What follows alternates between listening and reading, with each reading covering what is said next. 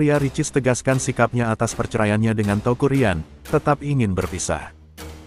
Ria Ricis menanggapi masalah perceraiannya dengan Teuku Rian, lewat secarik surat yang dibacakan kuasa hukumnya, Hendra Kasinaga.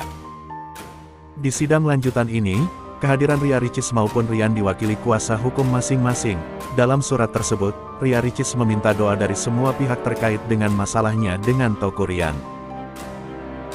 Apalagi, proses sidang cerainya akan memasuki tahap kesimpulan. Teman-teman media yang saya hormati dalam kesempatan ini saya ingin menyampaikan kepada seluruh teman-teman media dan seluruh masyarakat yang mendoakan terbaik untuk saya, Rian dan keluarga kami, ujar Hendra Kasinaga, membacakan isi surat Ria Ricis, di Pengadilan Agama Jakarta Selatan, Senin, tanggal 22 April tahun 2024. Adapun perkembangan persidangan saat ini akan masuk ke agenda kesimpulan dari masing-masing pihak.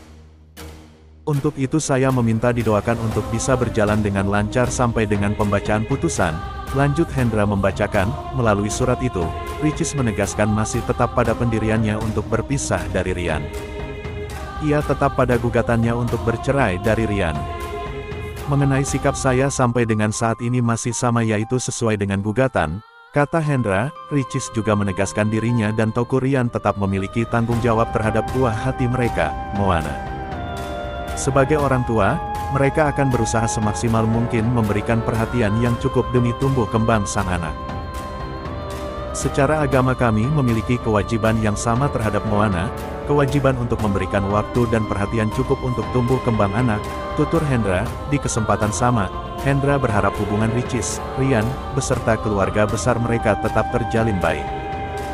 Semoga silaturahmi dengan Rian dan keluarga besarnya dapat terjalin, demikian yang dapat saya sampaikan, tutup Hendra.